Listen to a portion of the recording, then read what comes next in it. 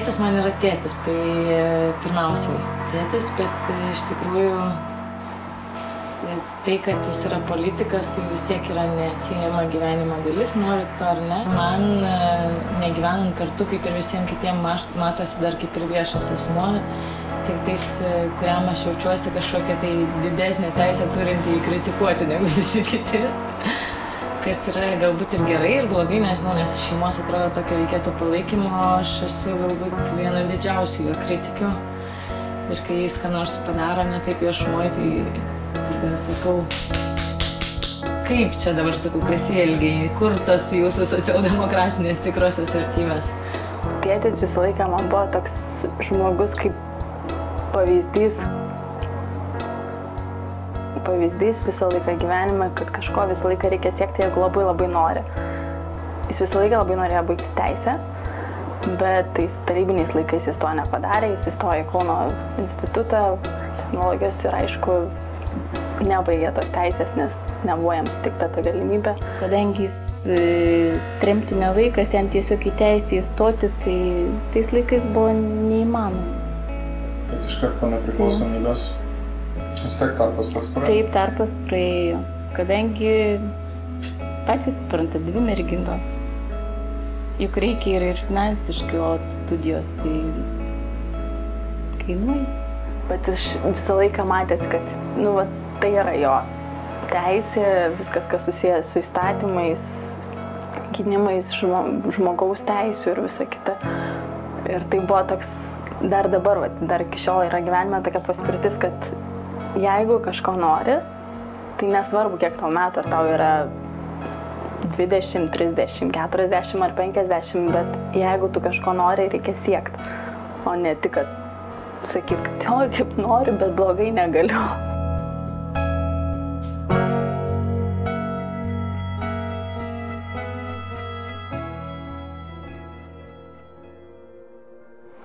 Du 2004 metais susipažinom su Julium Sabatausku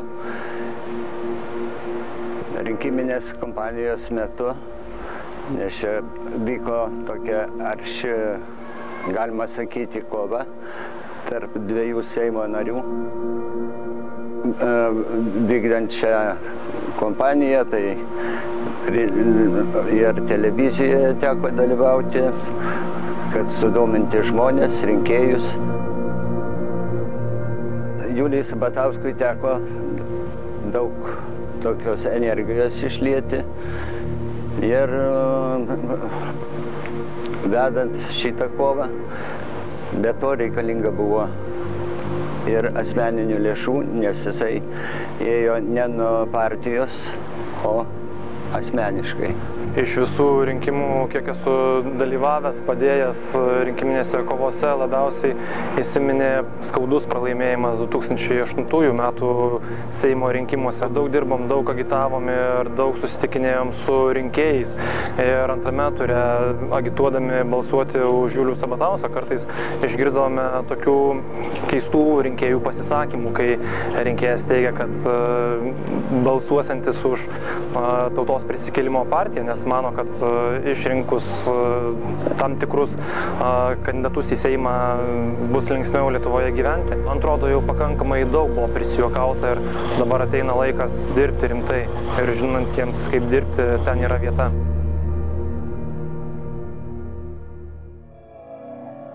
Jeigu vieną kartą susipažinai su Julium ir jisai sužinojo tavo vardą, tai žino, kad po 3-4 metų jis prieės prie tavęs būtinai tave kreipsis vardu ir to nepamirš. Nustebino po kelių metų, kai jisai mane kreipėsi vardu, labą dieną ir, nu tikrai, šokiruotas vazas nebuvo. Mes netgi sustinkame, ta prasme, jautrioje aplinkoje, jisai dažnai mus pakviečia išgerti podelį arbatos, pasišnekėti, kas mums rūpi, tasme, ko reikia būtent jaunimui, kad jie būtų laimingi Lietuvoje gyvendami. Su juo labai daug bendrajam, sakau, ne tik politikoje, ta prasme, ne tik apie politiką, mes bendrajam apie bendrai apie viską. Na, turi tokią savybę įsiklausyti į žmogų, kalbėti su žmonėmis, gali su kiekvienu jo problemą gvildenti klausytis ilgai.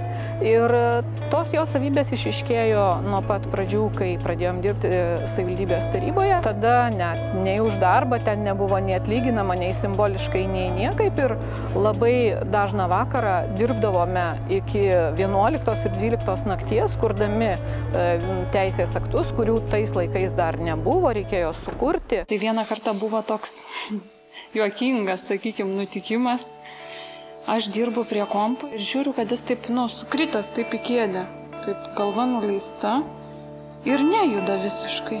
O Dieve galvoju, nejaugi numirė. Galvoju, ką dabar daryti? Tai taip atsargiai priejau, pajudinau, sakau, Juliau, ar jis gyvas? Jisai kaip šoko, sako, tai aišku gyvas.